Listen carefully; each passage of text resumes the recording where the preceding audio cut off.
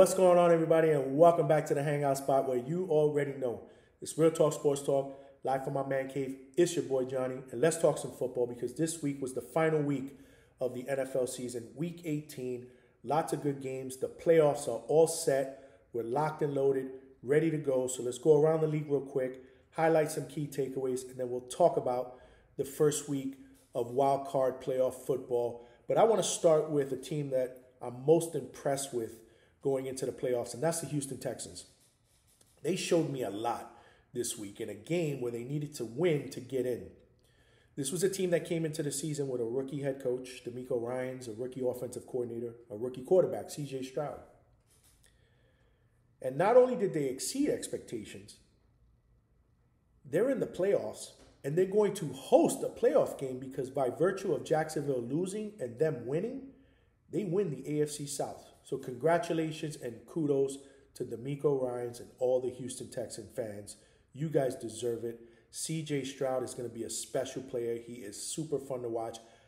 I used to love watching him when I used to watch him at my Ohio State. And now it looks like his game in college is translated to the NFL. He hasn't skipped a beat. In fact, this game, this was a game again that they needed to win to get in. So you figured as a rookie, not playing in these type of games, the atmosphere playing on the road would have affected him. He looked like he'd been playing in these type of games for years. And he went up against a tough Colts team at Indianapolis. They ended up winning the game 23-19. It was a great game.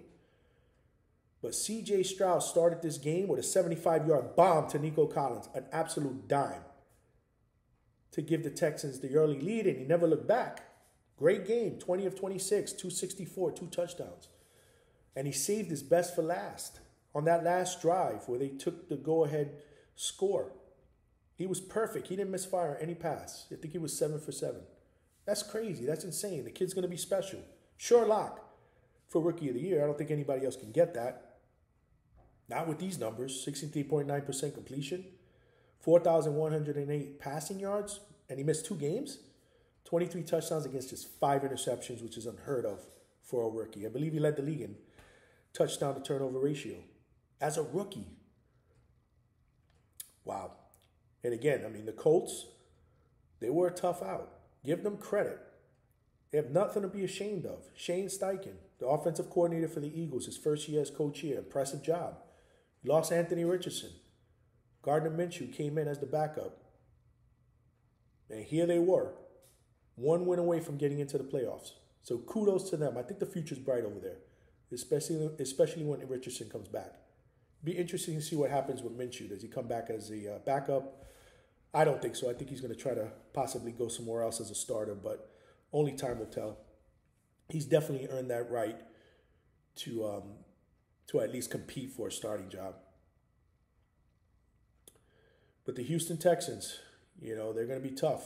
Next week, they're going to face the Cleveland Browns at home. And you got to think that Texans crowd, they're going to be they're going to be revved up. So it'd be interesting to see what happens there. We'll talk about that in a little bit. But the Steelers, super impressed with what the Steelers did this weekend. And I know that Lamar Jackson didn't play, some of the starters didn't play, but they went into Baltimore. Hostile crowd, good defense, great defense actually. The weather was horrible, it was rainy, it was cold and they pull out a 17-10 win. Mason Rudolph was phenomenal. 18 of 20, one touchdown, didn't turn the ball over. A dime of a throw to Diontae Johnson for a touchdown. Najee Harris, second week in a row, rushing over 100 yards, 112 and a touchdown. Give the Steelers credit, man. Four weeks ago, I didn't think they would make the playoffs. Not with Mitch Trubisky at quarterback once Kenny Pickett went out. Mike Tomlin makes the decision to put Mason Rudolph in. They win three games in a row. They get some help, they get in. Kudos to Mike Tomlin. This is a guy that Steeler fans were saying four weeks ago they didn't want back. They were trying to run him out of town. Now, here we are 17 years later, and he hasn't lost. He hasn't had a losing season. That is super impressive. That never happens. He's a Hall of Fame coach. Find a way to keep him there. You guys would be crazy if you run him out of town. Found a way to get it done. Now they're going to the playoffs. They're going to be traveling to face Buffalo next week. Tall task, but anything can happen once you're in there. The team that I'm not impressed with is the Jacksonville Jaguars. Oh my God. They just choked away the division, the AFC South. They were leading that division the majority of the year. All they needed to do was win and beat Tennessee and get in, and they lose 28 to 20 in a game where they had the ball at the end. Trevor Lawrence misfired on a wide open receiver down the field on a bomb. Would have had a touchdown, and, and then obviously a two point conversion try. And then on a fourth down, where he needed to move the chains, he misfired, overthrew Evan Engram by like two feet. They lose the game. This is a story. The Jaguars are a story of it's not how you start, it's how you finish. Because they started strong. In the middle of the season, I thought this team was a sure lock for the playoffs. Trevor Lawrence was rolling, he was getting better. Then, after that high ankle sprain, he wasn't the same. He was inconsistent. He was throwing more picks. In fact, he threw two picks, two costly ones this week. Very disappointing. I think the future's bright for them because I think Trevor Lawrence is going to be a special player. I think Doug Pederson is an amazing coach. Those two are going to make a good combination for years to come. But they blew an opportunity here. They had a chance to make it to the playoffs this year and they blew it. So there's a lot that they can take from this season. But again, it's not how you start, it's how you finish. And they decided to play their worst football at the worst time of the season. It's the way the ball bounces. Buffalo, on the other hand, they started to play better towards the latter part of the season. A lot of people were writing them off early in the season. Then they make a change. They fired Dorsey. They put Joe Brady in as the offensive coordinator, and the offense just took off. They started playing a lot better, more composed. And here we are. They are actually now the AFC East champions. They beat the, Dolph- uh, the Dolphins in Miami 21 to 14. They needed to win this game to lock up the second seed and win the division. And they did that. They took care of business. Didn't look good in the beginning. I mean, the way the game was looking, it looked like Josh Allen was doing whatever whatever he needed to do to lose that game. He was careless with the football to, through two ugly interceptions, but they rebounded. The game turned around. They were losing at the half. The game turned around when that kid, Deonte Harty, ran that punt return back 96 yards. That just flipped the entire complexity of the game. The momentum shifted. They tied the game at 14. They found a way to win that game. So kudos to the Bills, man. They're going to be a tough out. I said this weeks ago. If they get into the playoffs with their experience, their playoff pedigree, they're going to be a tough out. And I still feel like they're going to be a tough out, especially now with the second seed in the home game coming up. Let's not forget, even though Josh Allen's been careless the last few weeks, over 40 touchdowns combined in the air and on the ground. He's a special player who plays well in playoff games. It's going to be interesting to see. I personally think that the Bills are probably going to make it to the AFC title game, but we'll see. Any, again, anything can happen. Miami, on the other hand, I like their offense. I love Mike McDaniels. I love what they do with all the motions, all the pitches, the sweeps, their fast running backs, Tyreek Hill. Offensive offensive player of the year candidate too has had a solid season, but last couple of weeks I'm worried. They get blown out a couple of weeks ago by the Dolphin, uh, by the uh, Ravens. They lose this game at home with a chance to wrap up the division, the division where they had the lead the majority of the season. I'm concerned. I'm concerned that they started to play their worst football at the worst time. But we'll see. Now they have to travel. Instead of having a home game, they have to travel to face the Chiefs on Saturday night. It's going to be very, very interesting.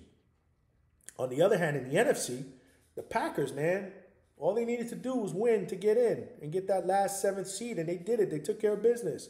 Kudos to them. They beat the Bears 17 to 9. Jordan Love was solid, 316, two touchdowns. Let's talk about Jordan Love's season, his first full year as a starter. 32 touchdowns, just 11 interceptions. Started off slow, but progressed and got better as the season went on. That's what you want to see from a young quarterback in his first full year as a starter. Looked like he started to trust his coaching, trust his instincts. He spread the ball around. Three good young receivers. Give Matt LaFleur a lot of credit for the development throughout the year. He got better and better. This is what happens. This is what happens when you sit behind Aaron Rodgers for a couple years to get that mental part of the game down pat. That way, when you do finally get your opportunity, the mental part of the game can complement your physical traits, and then you have a productive young quarterback that's going to get better as the years go on. That's the way to develop a quarterback, in my opinion. Either way, they're in the playoffs. They have to travel to Dallas. It's not going to be an easy game. The Dallas Cowboys, they win the NFC East by blowing out the Commanders 38 to 10. Not surprised that happened. The true story here is this the game that gets the Cowboys offense back on track, the high flying Cowboy offense. I know that the Commanders aren't a good team, but again, seven, eight games ago, the Cowboys had a stretch of five games where they were averaging 38 a game, and then they went into a little bit of a low. So, could this game propel them going into the playoffs? We'll see.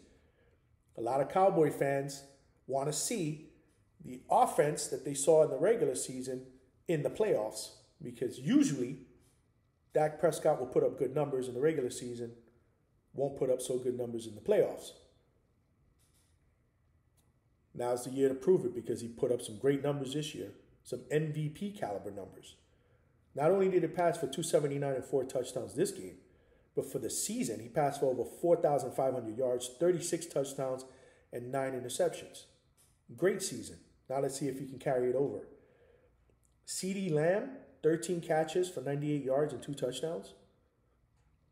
For the season, 135 catches, 1,749 yards, and 12 touchdowns. He is a beast. He's going to be a problem.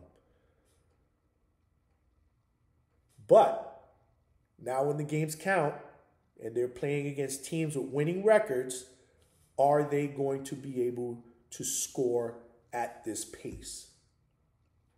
Time will tell. We'll see.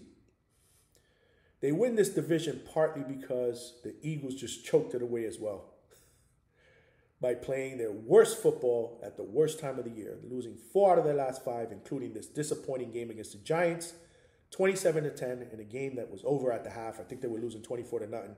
Sirianni just pulled the starters, waved the white flag. Screw it. We'll just go to the wild card and reset there. I don't know. I don't know about the Eagles. I mean, this is a team that uh, you know they started the season ten and one. They were finding ways to win. Usually, good teams find ways to win. But every week we were saying to ourselves, when is that Eagle team going to show up that made that Super Bowl run last year? Because it's only a matter of time that they start to show up and play a complete game. And here we are at the end of the season, and they never showed up. So this is who they are. You're hoping, if you're an Eagle fan, that they're going to turn that switch on next week and become that team in the playoffs when it really matters. They have experience. They have playoff experience. Nick Sirianni has playoff experience. Jalen Hurts. They've played in a Super Bowl, so we'll see. But I don't trust that defense at all. I think, and the offense has been very inconsistent. I think a lot of that has to do with losing their offensive coordinator to the Colts. I think that played a big role in it because Jalen Hurts just wasn't the same player. But when they get close to the end zone, the tush push, brotherly shove, whatever you want to call it, it's unstoppable. So that's all realistically what they need to do. Just move the ball and get it close. And they got a chance to score. We'll see. They have to play the Buccaneers next week on the road because they are a wild card team. And the Buccaneers won the division by winning this game. All they needed to do was win to win the division. They took care of business. Barely by beating the Panthers, the lowly Panthers, 9 nothing. But nonetheless, a win is a win. Baker Mayfield took a beating in that game too, man. He looked hobbled at the end of that game doing his interviews. You got to hope that he's to be okay for next week. He's had a solid season. Last two weeks have been rough. Last two weeks have been rough, but he's had a solid season, a very good season, and he has a beast receiver in Mike Evans. So we'll see what happens. Todd Bowles defense, again, they're going to be respectable. So it'll be interesting to see what Buccaneer team shows up. By beating the Panthers, they knocked the Saints out. The Saints won, but again, the Saints were knocked out of the playoffs because of that. And that kind of rounded out and decided the teams that were going to be in the playoffs. In other news, Bill Belichick, in perhaps his last game as the Patriots head coach, loses to the New York Jets. Go figure, 70, 17 to 3. There were a lot of Jet fans that wanted the Jets to win because they wanted to send Bill Belichick off with a loss. Well, you got your wish. Breece Hall was amazing, 178 yards on the ground and a touchdown. But realistically, it was a meaningless game. The story here is Bill Belichick. As of right now, he has not announced that he was leaving, but rumors are that he's going to be moving on from New England, possibly retiring. I don't think he'll retire. I think he'll probably wind up somewhere else for a couple years and then ride off into the sunset, but that's just me. But if he does move on, it'd be interesting to see how the Patriots pivot. Who's going to take over for Bill Belichick? Because those are huge shoes to fill. Possibly the greatest coach in the history of NFL. They do have the third pick in the draft. They finished 4 and 13. So they have the third pick. So you got to think that they're going to take a quarterback. So whoever they bring in is going to have to start the season with a rookie quarterback. There are rumors that Mike Vrabel, who was fired from the Titans, may be linked to this job if Belichick does walk away. So it'd be interesting. There are ties there between uh, between him and the Patriots, being a former player. I personally think if that does happen, I think Josh McDaniels will probably make a comeback to New England as well, possibly be the coordinator for this new quarterback that they draft. I think it makes sense. It's the only place where he's realistically had success anyway. But it'd be interesting. Like I said, um, this is a new era in Patriot football, something that I'm not used to seeing as a Jet fan. Neither way, I don't care. But it'd just be interesting to see. As far as my Jets, they finished the season 7 and 10. They have the 10th pick in the draft. Be interesting to see what they do. Do they take an offensive tackle, which is definitely a position of need? Do they take a wide receiver? Do they trade back, recoup picks? There's a lot of holes on this team, so it'll be interesting to see what they do. And we're going to be talking about that in the coming weeks. Black Monday struck, struck hard. As usual, Arthur Smith out as the head coach for the Falcons. Ron Rivera, as expected, fired as the head coach um, of the Washington Commanders. Vrabel, we just mentioned, besides some of the coaches that were fired mid-season, there's going to be a few job openings. Wink Martindale, defensive coordinator for the Giants, he decides that he wants to walk away. So it'd be interesting to see if he interviews for a head coaching job. If not, he will definitely be a defensive coordinator somewhere else. He's one of our better defensive coordinators in the league. So uh, Brian Daboll is going to have to find himself a defensive coordinator over there in New York.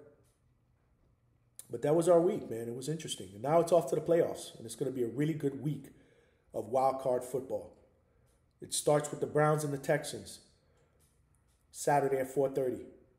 The Browns are a two and a half point favorite. Don't know how I feel about this game, to be honest with you, because I like both teams. I love both their stories. Kevin Stefanski has done a fantastic job with the Browns, facing all that adversity, all those injuries to the offensive line, losing his running back, Nick Chubb, early in the year. Five quarterbacks they've started this year. Joe Flacco being the most successful. They pulled him out of retirement. He'll be starting on Sunday. He has playoff experience. He, feel, he looks very comfortable in that offense, looks happy and re energized. I love what Stefanski has done with this team. I do. He'd be my pick for coach of the year if I had a vote. But it'd be close. It'd be between him and DeMeco Ryans because I also love what they're doing. Rookie head coach. I love CJ Stroud. He's a former Buckeye. I support my Buckeyes regardless of what teams they play for. He's going to be a special player. So it's going to be interesting. I don't know. I don't know about this one. I know the Houston Texan crowd is going to be pumped up. They're going to be revved up. This will be one of those games that, because I like them both, I'll flip a coin. But if I had to flip it now, I'll go with the Texans at home. Saturday, 8 o'clock game. The Dolphins, 11 and 6, are going to be traveling to Kansas City to face the 11 and 6 Chiefs. Right now, the Chiefs are a four point favorite. Like I said before, I don't like the way the Dolphins are playing, especially the last two games, but I do like Mike McDaniels. He's very creative. The way he moves this offense. I love Tyreek Hill. There's a ton of weapons there. But I'm worried. I'm worried that they got cold at the wrong time. And it's not like I'm excited about the way Kansas City has been playing either, but we are talking about the Chiefs, former Super Bowl champions, defending Super Bowl champions.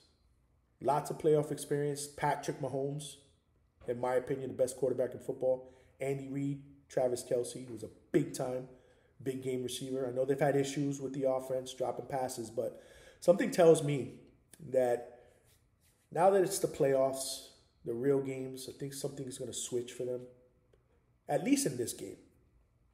I like the Chiefs to win this game at home, and we'll see what happens next week. But The Sunday games will be really good. You got the Steelers, 10 and 7, going to Buffalo to face the Bills, 11 and 6. Right now, Buffalo's a 10 point favorite. Buffalo's going to be scary, like I said earlier. I like what the Steelers did. I like this story. I like Mike Tomlin. But going into Buffalo to win this game, I don't know. Don't feel comfortable that's going to happen. They may keep it close. I mean, it's a high spread, double digit, but I think the Bills win this game fairly easy in the advance. Then you got the Packers, 9 and 8, who are going to Dallas to face the Cowboys, 12 and 5, 4:30 game.